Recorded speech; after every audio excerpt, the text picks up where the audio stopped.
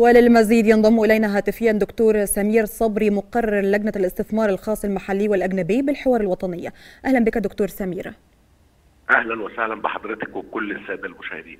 أهلا وسهلا بحضرتك. اذا مصر تتخذ العديد من الإجراءات لجذب الاستثمارات الخارجية وتمكين وتشجيع القطاع الخاص لتحقيق النمو الاقتصادي وتحقيق التنمية الاقتصادية الشاملة. كيف تساهم مثل هذه الورش التي يتبناها المركز المصري للفكر والدراسات الاستراتيجية لتطوير ويعني تبني رؤية شاملة لتعزيز الاستثمار الوطنية؟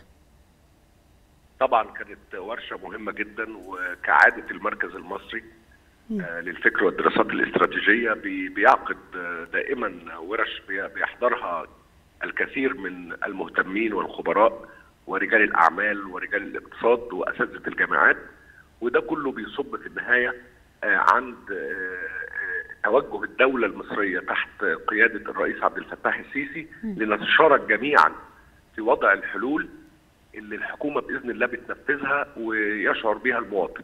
كل ده بيكون أفكار بتتبعت للحوار الوطني وبيتم بعد إرسالها دراستها وبيتم دعوة القائمين على المركز ومعظمهم مقامات شاركت معانا في النسخة الأولى من الحوار الوطني وإن شاء الله يكون لهم دور فعال في النسخة الثانية اللي مقرر انعقادها قريبا بإذن الله. نعم. هل ممكن أن يعني تنضم نتائج هذه الورش إلى الحوار الوطني الاقتصادي الذي وجه إليه سيادة الرئيس عبد الفتاح السيسي؟ طبعا. بالفعل في النسخة الأولى من الحوار الوطني في المحور الاقتصادي معظم مراكز الأبحاث ومراكز الدراسات والجامعات المصرية شاركت بورش بمخرجات ورش العمل بتاعتها وجه منها الخبراء عرضوا وجهات النظر وفي ملف الاستثمار الخاص تحديدا المحلي والأجنبي شهدت اللجنة عندنا الكثير من مراكز الدراسات بأبحاث وبأفكار معتبرة تم نقاشها على شكل علني وفي شكل جلسات مغلقه للخبراء وإن شاء الله رب العالمين كلنا عندنا هدف واحد إن إحنا الاستثمار والصناعة والزراعة والسياحة والتصدير. الاستثمار هو البوابة لكل مناحي حل المشكلات الاقتصادية في مصر، نحتاج إلى استثمارات كبيرة، نحتاج إلى دور مهم للقطاع الخاص في الفترة القادمة، محتاجين إن كل أجهزة الدولة تكون داعم بقراراتها وبتوجهاتها وبطريقة تنفيذها للمستثمر الخاص سواء كان محلي أو أجنبي. نعم. كيف نستفيد من مثل هذه اللقاءات الفكرية والحوارية؟ الاستفادة بتبدأ اولا إن بيكون في زي brainstorming بنسمع كل وجهات النظر. علم الاقتصاد هو علم اجتماع. في مدارس كثيرة وفي وجهات نظر مختلفة. مش علم تطبيقي بيكون معادلات ثابتة وجامده بالعكس بيتغير مع تغير حياة المجتمعات بيتغير مع الظروف الجيوسياسية بيتغير أيضا بتغير بعض اقتصادات الدول. الشريكة والصديقة لينا. فمثل هذه الورش بيكون فيها تنوع في الفكر بنختلف ونتفق على أرضية واحدة وهي حب الوطن وبيجمعنا مساحات كثيرة جدا من الاتفاق إن مصلحة المواطن المصري في المقدمة زي ما دايما بيأكد فخامة السيد الرئيس على ذلك إن إحنا دايما بنبص إن الفايدة تكون للجميع المستثمر الدولة وأيضا المواطن في القلب من هذه المهمة اللي بنشتغل عليها كلنا وهي حل هذه المشكلة الاقتصادية. نعم. فالورش لها دور مهم جدا ومراكز الدراسات ومخرجاتها هتكون محل نقاش وسوف يطلع الإعلام على مخرجات المرحلة القادمة بإذن الله في القريب العاجل.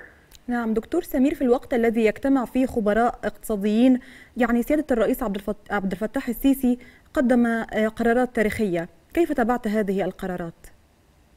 بصراحة كعادة الرئيس السيسي م. ومش جديد إنه دائما بيأتي في التوقيت اللي بيكون فيه المواطن وكأنه بيسمع صوت كل مواطن مصري من ال 106 مليون مواطن. في أزمة اقتصادية في ارتفاع في الأسعار. فالناس قدامنا حلين، إما الأسعار دي تنخفض وسريعا وإما يكون في حزمة من المساعدات ومن الرواتب ورفع الأجور. فجاء الرئيس بالتوجه للدولة وللحكومة اشتغلوا على المحورين. ما شاهدناه في الأيام الأخيرة من جهد مبذول ومشكور. للأجهزة التنفيذية ولوزارة الداخلية من ضبط محتكر السلع وأيضا المتاجرين بقوت المصريين وعلى اليد الأخرى تجارة العملة وما تم مداهمته لبعض التجار. حصل ارتياح بسيط إلى الآن في أسعار السلع ومتوقع إن شاء الله في القريب يكون نزول الأسعار بشكل أكبر مع ضبط سعر الصرف. على اليد الأخرى وجه سياده الرئيس بحزمة من المساهمة لتقليل هذه التبعات والتكلفة الاقتصادية اللي العالم كله بيعاني منها وكان في قرارات أهمها يعني رفع الحد الأدنى للأجور برقم غير مسبوق. نعم. 50%, 50% يعني من 4000 نوصل ل 6000 وأيضا زيادة المعاشات 15% وفي علاوة استثنائية. قرارات كثيرة جدا.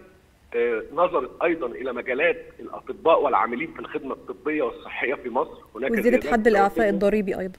آه وأيضا. الحد الأدنى للاعفاء الضريبي زاد من 45000 ل 60000 جنيه الحزمة في إجمالها يمكن تعدي ال 180 مليار جنيه مم. الرئيس لما اجتمع مع دولة رئيس الوزراء ومع السيد وزير المالية كان الطلب إن الحزمة المساعدات تكون سريعة وبالتالي إحنا كنا دايما أي قرار من هذا بيكون بعد مدة زمنية كبيرة لا ده من أول مارس يتم تطبيق هذه الزيادات فدي بشرى لكل مواطن مصري وإن شاء الله بلدنا هتعبر هذه الأزمة وبإذن الله رب العالمين كل واحد في بيته سواء كان بيعمل في الدولة وفي أجهزتها هيشعر بالزيادة دي سريعا وبدعو من خلال منصة حضرتك إن القطاع الخاص كمان وإحنا بنشتغل مع المستثمرين ومع القطاع الخاص يكون لنا دور في زيادة رواتب العاملين معانا وخصوصا اللي مرتباتهم قليلة علشان كل المصريين يدخلوا بإذن الله الفترة اللي جاية والشهر المبارك على الأبواب وهم في حالة من الارتياح ونعبر هذه الأزمة.